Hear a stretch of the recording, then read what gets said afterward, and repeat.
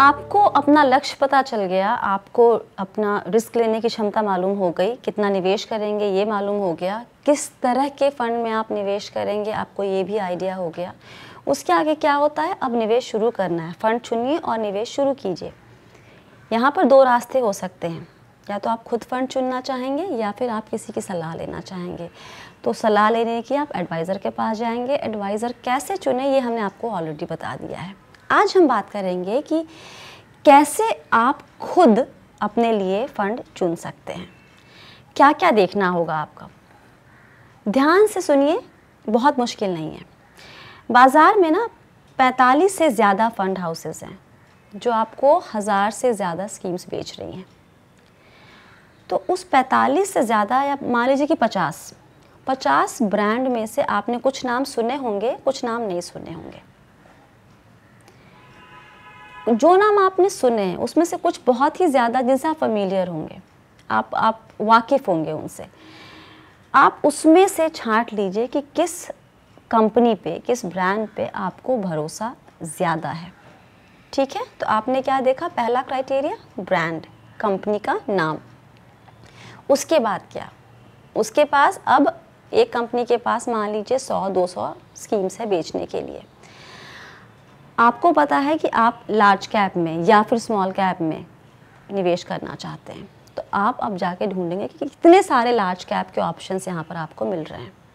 जितने भी हैं उसमें से टॉप पाँच कौन से हैं? ये टॉप पाँच कैसे आप चुनेंगे? उसकी रेटिंग देख के। ये रेटिंग कहाँ आपको आ, मिलेगी? दो तीन चार ऑप्शन हैं। आप चाहे तो वैल्यू रिसर्च की साइट पे चेक कर सकते हैं मॉर्निंग स्टार की साइट पे चेक कर सकते हैं मनी कंट्रोल डॉट कॉम पर देख सकते हैं या फिर क्रिसिल की वेबसाइट पे आप चेक कर सकते हैं। इन चारों साइट पे आपको फंड्स की रेटिंग मिल जाती स्टार रेटिंग आपने चुन लिया उसमें से कि चलो ठीक है, ये जो टॉप के चार स्टार रेटेड फंड हैं, इनको हम कंसिडर करेंगे, इसको हम देखते हैं।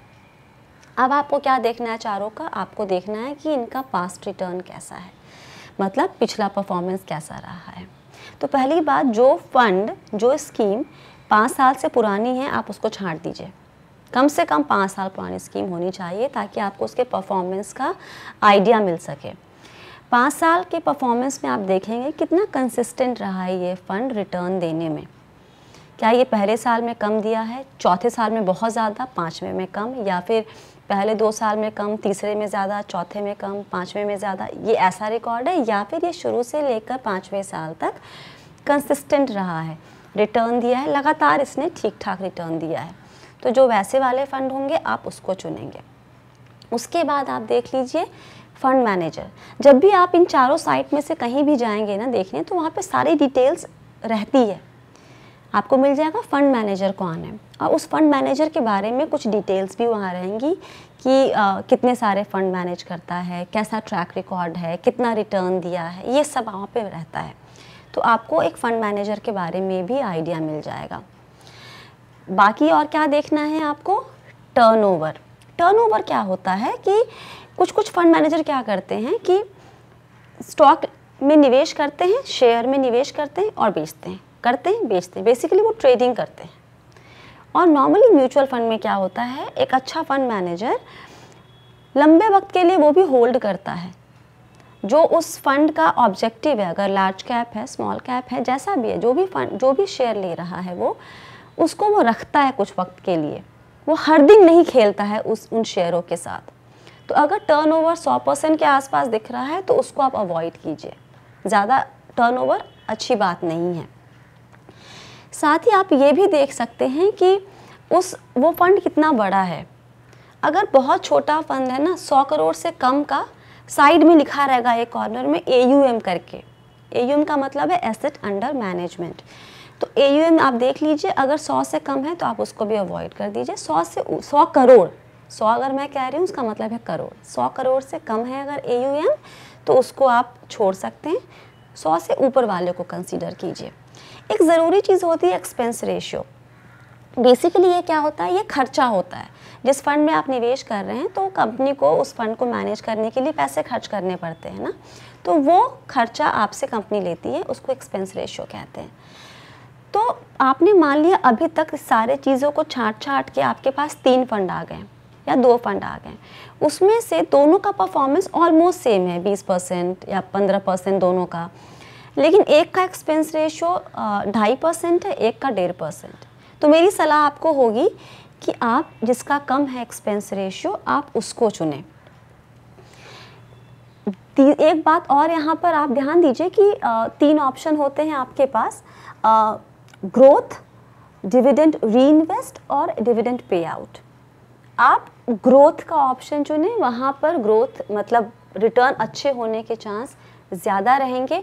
डिविडेंड री भी वैसा ही कुछ काम करता है, लेकिन ये थोड़ा कॉम्प्लिकेटेड है, उसमें मत पड़िए आप। आप ग्रोथ का ऑप्शन चुन लीजिए।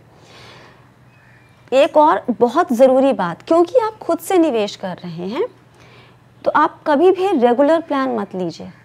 आप डायरेक्ट प्लान लीजिए।